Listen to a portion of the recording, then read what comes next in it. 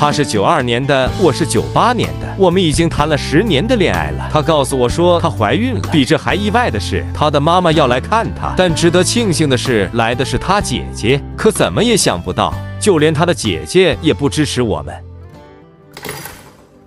最后一个，先拿去用。你的事儿不是我的事儿。不是哥，这个不行，这听话，拿着。现在的社会，做什么事儿都要看门面。这个能替你说话。小易呢是个好姑娘，也老大不小了呢，是啊是。应该有担当的。难得有几个真兄弟，不散的情谊。虽哥然你我呢跟你们看小，也是看你长大的。这里呢有三十万现金，先拿着，付个房子首付。不是哥，这肯定不行了。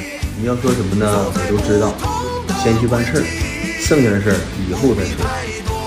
别让别人瞧不起咱们。我守护。嗯，我谢谢谢哥。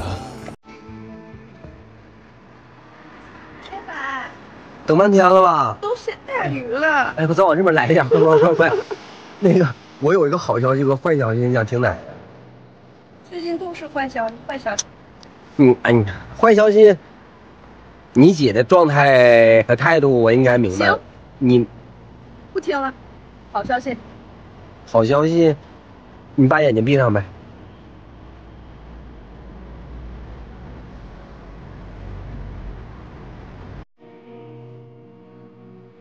咋回事儿？咋回事儿？我刚才去找浩哥。你哥那发小吗？对啊。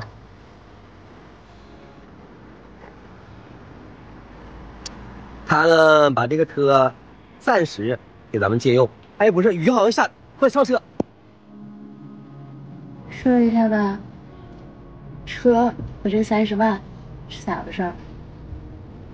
车是浩哥借给咱们的，钱浩哥让我们用来做房子首付。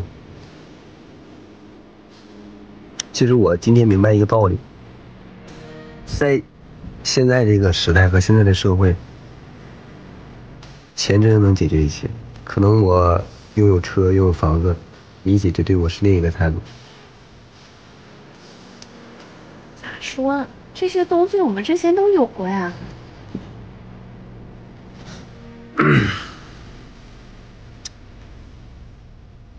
一个能够经得起大风大浪的男人，才叫真正的男人。其实我拥有你是我最宝贵的财富。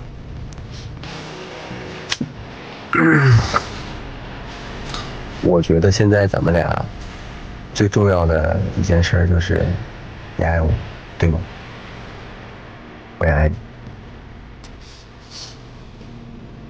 其实今天我想跟你说的。